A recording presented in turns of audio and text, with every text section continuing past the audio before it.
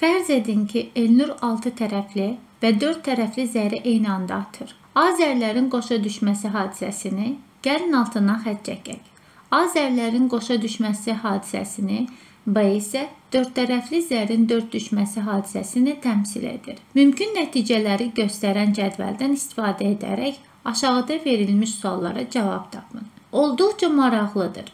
A-nın ehtimalı, yəni zərlərin qoşa düşməsinin ehtimalı nədir? Aşağıda bütün mümkün halları göstərən bir cədvəlimiz var. Bu halların hər birinin ehtimalı eynidir. Gəlin sayına baxaq. 1, 2, 3, 4 və 1, 2, 3, 4, 5, 6. Beləliklə 24 mümkün nəticə var. Məntiqlidir. 4 tərəfli zəri üçün 4 mümkün nəticə, 6 tərəfli zəri üçün isə 6 mümkün nəticə var. Ümumilikdə isə 24 nəticə mümkündür. A-nın ehtimalı. Gəlin buraya qeyd edək.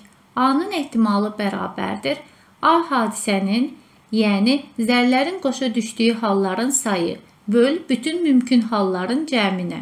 Yəni 24-ə. Gəlin baxaq. Burada zərlər qoşa düşüb. Yəni hər ikisi 1 düşüb. Eyni zərlər deyil, amma hər ikisi 1-dir. Və burada hər ikisi 2 düşüb. Burada 3 və 3 var.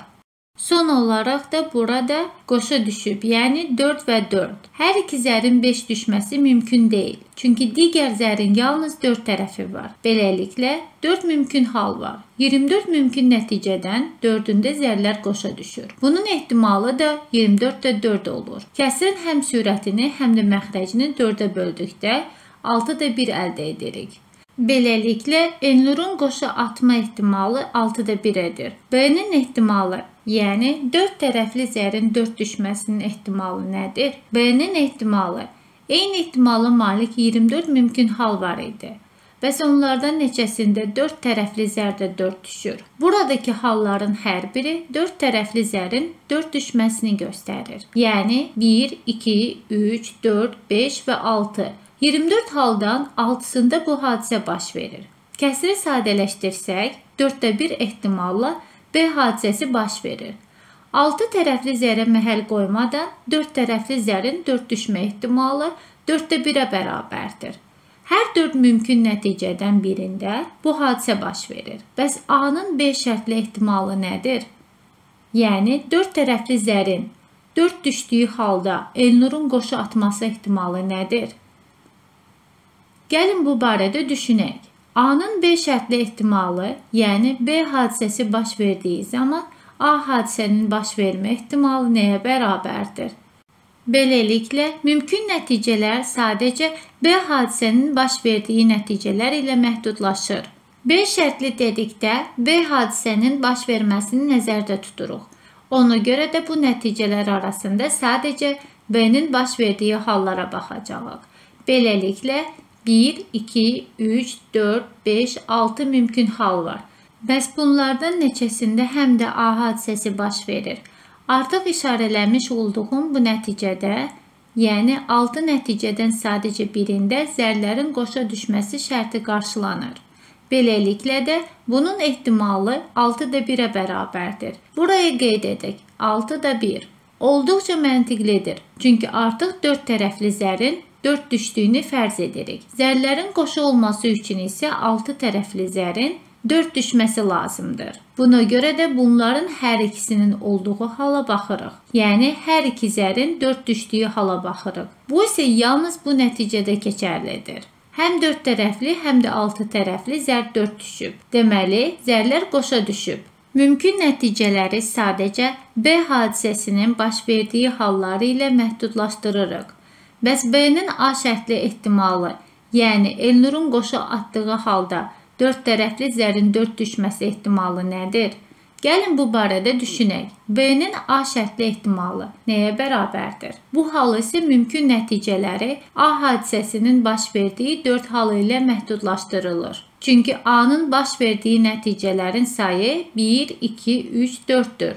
Bəs bu nəticələrdən neçəsində B hadisəsi baş verir? Bu 4 mümkün nəticədən sadəcə birində həm B, həm də A hadisəsi baş verir. Ona görə də ehtimal 4-də 1-ə bərabərdir. Zərlərin qoşa düşdüyü halda 4 tərəfli zərin 4 düşməsi ehtimalı 4-də 1-ə bərabərdir. Bu da doğrudur.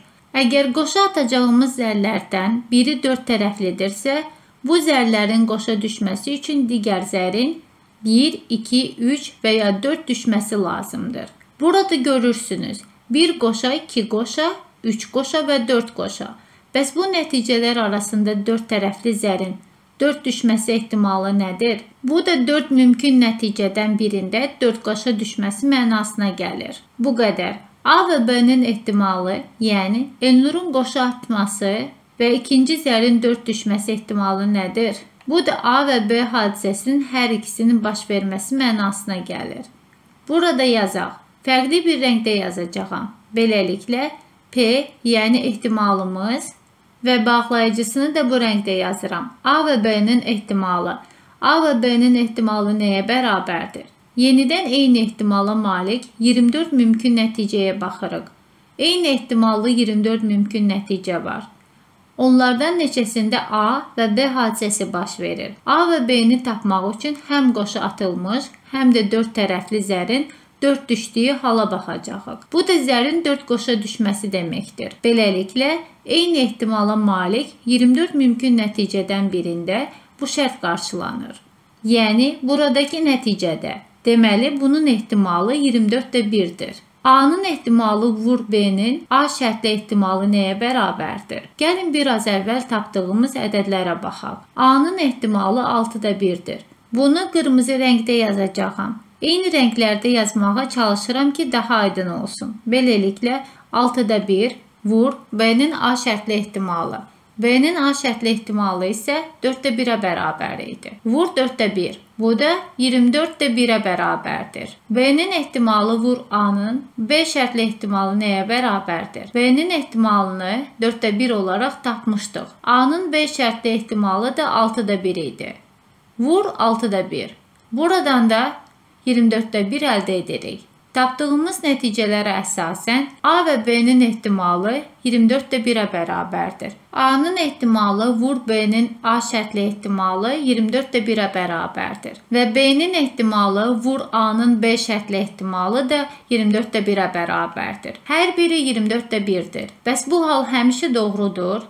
Əlbəttə ki, A və B-nin ehtimalının nə demək olduğunu düşünün. A və B-nin hər ikisinin baş verməsi ehtimalını nəzərdə tuturam. A-nın baş verdiyini düşünün. B-nin və A-nın baş verməsi. Bununla A-nın baş verdiyi halda B-nin də baş verməsi ehtimalının hasilinə bərabərdir. Çünki bunu artıq məhdudlaşdırırıq. Sonra da bunu A-nın baş verdiyi halda B-nin də baş verməsinin ehtimalına vururuq. Ümid edirəm bu sizi çaşdırmır. Daha asan başa düşülməsi üçün Buradakini bu şəkildə yazacağam. B-nin A şərtli ehtimalı vur A-nın ehtimalı. Bu A hadisənin baş vermə ehtimalı. Bu da A hadisəsi baş verdiyi halda B hadisəsinin də baş verməsi ehtimalı deməkdir. İndi daha aydın oldu. Çünki bu da əslində A və B hadisəsinin baş verməsi ehtimalı ilə eyni anlayışdır. Yəni bu hər ikisinin ehtimalı A və B-nin hər ikisinin baş verməsi deməkdir. Başqa cür də yaza bilərik. A-nın B şərtli ehtimalı vur B-nin ehtimalı. Bu halda da B hadisəsinin baş verməsi və B hadisəsi baş verdikdə eyni ilə A hadisəsinin də baş verməsi lazımdır. Bu da məntiqli olaraq A və B-nin ehtimalına bərabərdir.